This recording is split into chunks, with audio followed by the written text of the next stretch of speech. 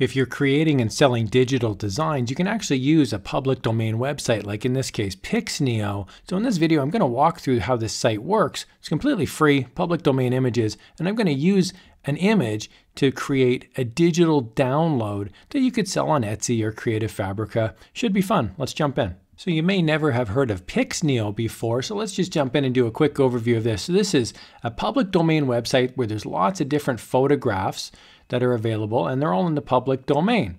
So I'm just going to use this one here, for example, on the right hand side, this sunflower. So I'm going to pop that open and we can see here that on the right hand side, it says Pixnio license free to use. And if I click on that free to use, it's going to open up another page and it says what is allowed. All photos can be used free for commercial or non-commercial use.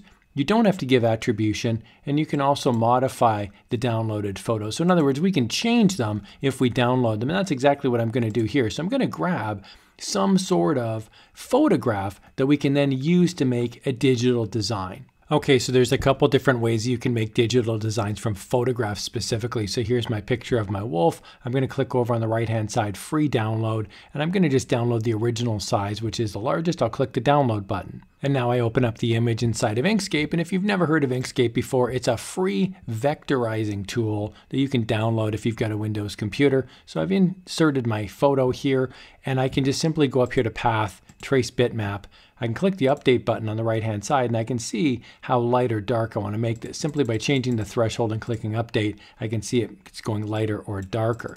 So it's just a matter of playing around with it, finding what you like, and then clicking the apply button. It's then going to think for a bit and it's going to give you basically back a shadow. Now, I want to point out this is a terrible cut file. So I know what happens is whenever I talk about making digital files, people come out of the woodwork and they say, hey, that's a crappy cut file. I totally admit it, guilty as charged. When I click on the edit paths by node button, you can see here all these paths. That's way too many paths. So you wouldn't want to sell this as necessarily a cut file for like a silhouette or a Cricut machine, like something like that. But what you could do is you could make this into a JPEG or a PNG or some sort of an Andy Warhol like photograph. So what you can do is take this and using the color palette down below, you could click on any sort of color and you could make it a really nice piece of art. So for example, I'm just going to click Control C and Control V, and that's going to copy it over. And now I'm going to move little Wolfie here down next to the red one. And now I'm going to click blue. And then I'm going to click Control C, Control V. That's going to cut and paste or copy and paste. I'm going to move that now over so it sits underneath. And I'm going to pick green. From there, Control C, Control V. I can move it over and I can click yellow. So that's just an example of how you could create easy wall art using Inkscape. Again, I want to point out it's not a cut file, but this would be a good digital download if you were selling wall art or some sort of print your own artwork. You could sell this on Etsy as an art print, for example. Now, if you'd like to create an actual vector, i.e. a cut file, then it's a bit more work. So here I've got a zebra, and the reason I'm selecting this file is because it's black and white, and it's got a green background, which I think I can reduce down to nothing. So I'm gonna show you how to do that. First, I'm gonna click the download button, and I'll download the original file onto my hard drive. Okay, now I've opened up my image inside of Photoshop, and you could use Affinity Photo, it doesn't really matter, but a graphics design tool. So I've just got this sitting now inside of my palette. And what I'm gonna do now is erase the green background. So this does take a bit of time. So I'm gonna use the background eraser to start, and I'm gonna make sure my tolerance is set low, and then I'm just gonna simply start painting. I'm gonna make sure that I'm taking out as much of the green as possible around little zebra guy here and it saves all the hair, which is nice. Now it's keeping a lot of the darker stuff in there. That's not what I want, so I'm going to remove out the green. And then from there, I'm going to change it to regular eraser, and I'm going to go in now and remove right up next to the zebra as much as possible. So I don't want anything that is the background sitting on my zebra. So I'm going along and I'm making sure with my eraser that I'm keeping the zebra's body, but I'm erasing the background. Okay, so I'm pretty happy with that overall. Now I do want to point out, if you go up to actual pixels, you can kind of see through some of the zebra, but I'm okay with that. I'm really only caring about the black and the white because I'm going to be jumping into Inkscape now.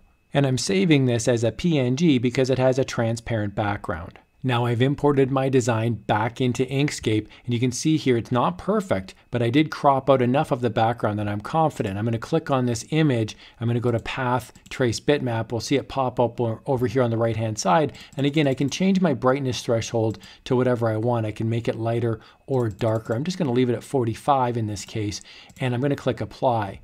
And it's going to give me an actual vector. So now I'm going to delete out my actual picture and that gives me my black and white. Now you can see here I've got a lot of black on here. So I'm actually going to go undo, Control Z, Control Z, and I'm going to redo this lighter. So I'm going to go now to brightness threshold down to like say 30 and I'm going to click update and then apply.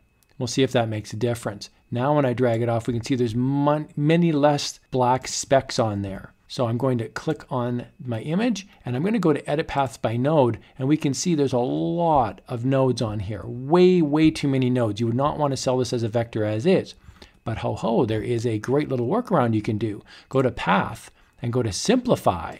And now it will think and look at that. All the nodes now have been greatly reduced. Now it's going to change the way your picture looks, and you would want to go in here and clean this up. So as an example, you see there's these little black dots right there. When I click on Edit Paths by Node and I click on it, you can see they're right there. I'm going to highlight it, delete, highlight it, delete. So you can go through your design and you can zoom in as much as you want. And any black or white specks you can clean up. And you can do it relatively quickly. You actually get pretty good at it pretty quickly. So all of these things over here on the left-hand side, I can just get rid of these and I can actually clean up this photo, or this vector rather, pretty quickly. You just want to make sure that all of your nodes are selected.